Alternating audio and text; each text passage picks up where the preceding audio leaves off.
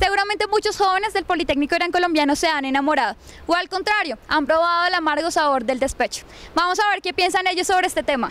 Hola, ¿te has enamorado? Sí, sí me he enamorado. ¿Y qué ha sido lo mejor de eso? Eh, lo mejor es poder compartir con una persona con la que te sientes como uno. Sí me he enamorado y lo mejor ha sido no poder explicar por qué.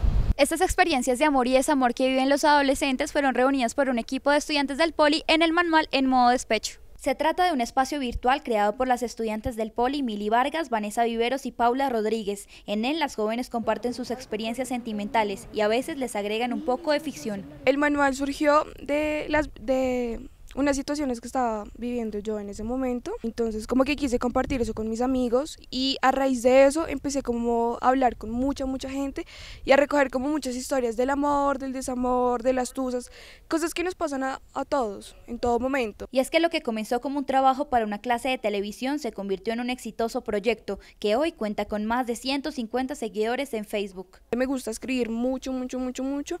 Entonces todo, la, todo, todo, todo lo que se, se sube en la página lo, lo, lo, hago yo. Las fotos que se suben en la página se tomaron el día de los rodajes. En la página manejamos a los tres personajes principales como lo son Ana, Pablo y Jaime en modo de, o sea, en una graficación. Si tenemos lo que creemos merecer, entonces espero que sepas que mereces, Ana. Yo era tuyo, Pablo. Estamos trabajando toda la parte de redes sociales, estamos trabajando todo el merchandising de, del proyecto, estamos, ya la idea es vender como brillos, vender libreticas, vender stickers. La Escuela de Creativos Dream Team reconoció el valor de esta iniciativa y premió a sus creadoras con becas para un curso de dirección de arte, conceptualización publicitaria y social media. Para mí es un proyecto que me puede sacar de muchas cosas adelante y aprender para mi futuro y para mi, mi carrera me va a servir como hoja de vida. En verdad valoran el proyecto que estamos haciendo y que el proyecto que nosotros tenemos tiene futuro. Todos podemos apoyar el proyecto de estas tres gran colombianas a través de www.facebook.com slash en modo despecho.